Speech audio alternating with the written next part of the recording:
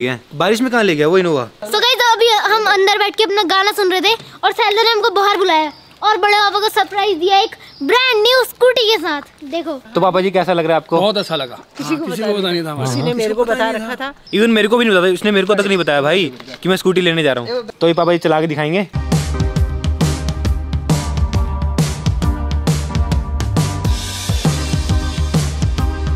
तो गाइज़ ये तो बिल्कुल अनएक्सपेक्टेड था। एकदम से सरप्राइज़ मिला पापा जी को। स्कूटी का और चला के ले गए अभी। वैसे पापा जी ने कभी चलाई नहीं है। स्कूटी बाइक कार वगैरह उनको डर लगता है। तू कितना एक्साइटेड हो रहा है? पता नहीं। भाई तेरे को नहीं मिलेगी अरे पता नहीं कह रहा हूँ मैं। मैं ये थोड़ी कह रहा हूँ मेरी स्कूटी आ गई।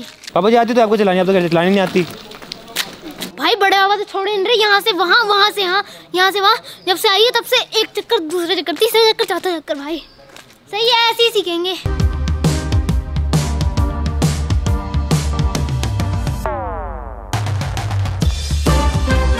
तो पापा जी फ़िलहाल काफ़ी खुश हो गए। अब फ़ोटो शूट करते हैं। बीच में लगा लो। तो अभी गाइस फ़िलहाल मैं भी चलाता हूँ नई स्कूटी देखते कैसी है। यार भाग तो सही रही है। तो गाइस सीरियसली मेरे को कुछ भी नहीं पता था इसके बारे में इस सरप्राइज़ के बारे में। ये सिर्फ़ साहिल और निर्मल भैया की साजिश थी। पापा से ज़्यादा खुश तो मम्मी लग रही है। है मम्मी? है ना? वैसे गाइस आने के बाद एक बार गिर भी चुकी है।